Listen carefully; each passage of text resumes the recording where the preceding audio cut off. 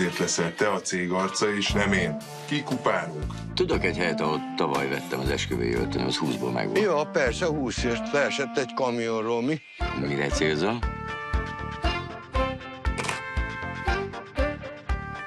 Vadi új, dombornyomott, És mennyi van rajta? egy fillér se. Tóth János. A sorozat folytatódik csütörtökön este a Dunán.